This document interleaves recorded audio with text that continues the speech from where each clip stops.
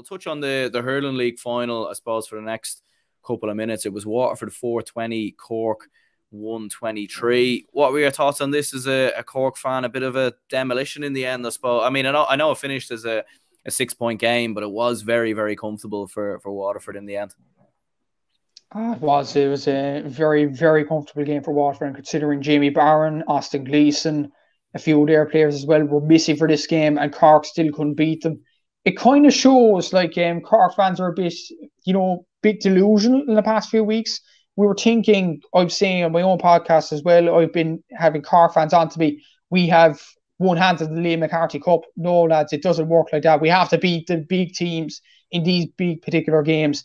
And with Waterford, they were without their first two players, Jamie Barron and Austin Gleeson, and we still lost the game. So I, I mean, like I, I don't know where Cork ought to at the moment. I think there's a few tweaks needed to this team. First of all, Shane Kingston, I'm not sure why he doesn't start. He's our best hurler of the team. Like that's like saying David Clifford, you're kicked off the Kerry team.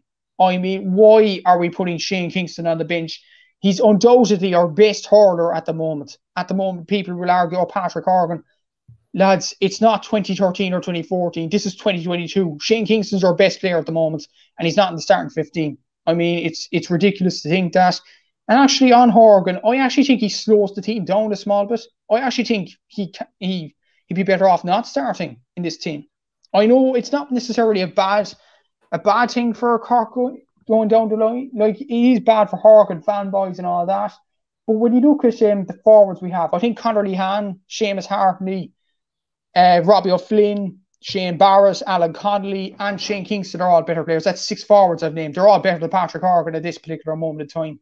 Look, when you look at the stats, Patrick Horgan's only scored two points from playing the last two games. Patrick Horgan's won three from playing one game. So, look, it tells you, like, he's going back a small bit. Like, he's only scored overall in the league, I think, one six from play. And that's not really impressive whatsoever in any shape or form. So, look, um, we need to fix up our full backline as well. And this game probably showed that we missed Dara O'Leary. He went off with an injury against Kilkenny in the semi final. He was missing for this game, and our defence got torn apart. Like Damien Cahalane, I would say, like Damien Cahalane is not a hurler; he's a footballer. I, I don't know why he's in the full back line. You know, In honesty, uh, Kieran Joyce, he played well in midfield the first game. Why did he need to change it? Put him in midfield throughout the championship and throughout the league.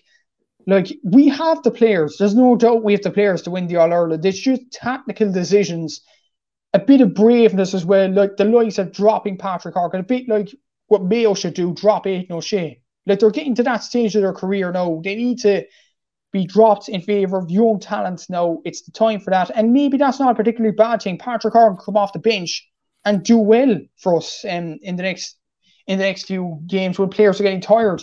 But um, yeah, not for me ranting really about Cork, about Waterford. They look the real deal. Even without Jamie Barron, without Austin Gleeson, wow, Stephen Bennett, outstanding, Patrick Curran, Tadhg de Búrca, and Cara Daly, yet another player to add to this brilliant team. And my God, Waterford look a very good prospect at the moment. Conor Prunty at full back. The question is, can they prove it against Limerick? Now, I honestly think for Munster, I think Limerick and Waterford are way ahead of the rest. I think this third place team will be between Clare and Cork for third place. I think Tipperary are a bit off, but they have some nice players. But I think Clare and Cork, it depends on Clare's injury list going into the championship. I think it'll be between Clare and Cork for third place, Aaron. I don't know what you think about that yourself. Yeah, I'd, I'd agree with you. Yeah, and uh, I, it's a hard one, really, like to, to choose between Clare and Cork. I mean, you could argue either way. I'm actually not too. Who has home advantage for for that game? Do you know? It's a neutral venue, Semple oh, Stadium. Oh, oh, is it? Is it? Mm. Yeah, that'd be that, that'd be interesting. All right, because you've seen last year as well. Obviously, when Tony Kelly had that chance right at the end of the game, and it was obviously saved by Patrick Collins. Um, but yeah, like you were saying with Patrick Horgan, I mean, it is interesting. All right, I don't think you'd hear too many Cork fans who will definitely say that he should be dropped from the team. But um, like, do you have anyone else there maybe that could take up the frees though? Obviously the 65s and all the rest. I mean, is there other players there? I mean, I know he's missed a couple this year and he's obviously been talking a lot about the colour of the sliotar and everything else. But I mean, what do you reckon? Would there be someone else there that could fill that sort of void? Because I do think he kind of has that leadership role in the team as well that maybe other, you know, I suppose that other players maybe wouldn't have. Well, to answer to your questions, Aaron, when you look at the frees, we have Shane Kingston, we have Shane Barrett, and we have Conor Lehane, who can easily take frees as well, as good as Patrick Horgan at this stage of his career. And as for experience, I'd mean Seamus Harnedy is better than them at the moment. I'd put Seamus Harnedy above Patrick Horgan. He has experience in this team. Darragh Fitzgibbon's been around the block for a few years as well.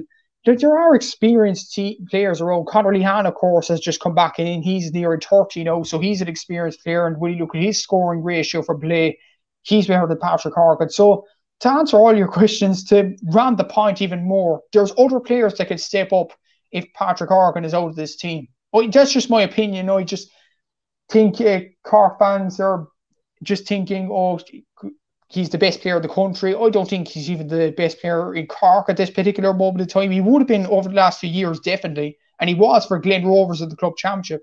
But I just don't think he is at the moment. So I just think he's lacked a bit of pace. He lacks a, a small bit of nose as well. Um, look at um, the modernisation of the game as well. Like Shane Barrett is better player at the moment. Alan Connolly is more of a goal threat than Patrick Horgan, and that's why I'd have him over him in the team. Shane Barrett has more speed. Connolly has more goals. Kingston is the better player all around.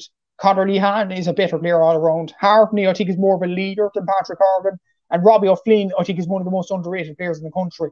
So, and we have scores as well for midfield. Darragh Fitzgibbon, Kieran Joyce, if he's put in his pr- proper position midfield where he's excelled, he could score as well. Um, I'd say even put Robert Downey back to the full back line, not, not necessarily full back, but in cornerback, he's a bit too slow, in my opinion, for wing back. Maybe we need to put someone like I'd say Mark Coleman, Tim O'Mahony, and um, someone else there in the half back line. But um, yeah, just a few tweaks to the team Keir needs to make before championship, and um, will be right as rain. But if we don't make these changes now, I think we could even struggle in this Munster Championship. To be honest with you. Thank you very much for watching this clip of the very most recent podcast uploaded on the channel. If you do enjoy this content, please leave a like and subscribe so you're notified every time I do drop uh, a new upload. And it does very much help the channel grow and help the channel uh, reach more people. So I very much would appreciate if you could leave a like and subscribe and let me know down in the comments below what you thought of the video. You can also follow the uh, page on Instagram and you can also follow on Facebook, Twitter, Spotify. You can follow on all social media platforms as well. So if you're not already followed over there, go over there and give the page a follow to help the channel grow as well. So I do very much appreciate anyone tuning in, and I'll see you all later.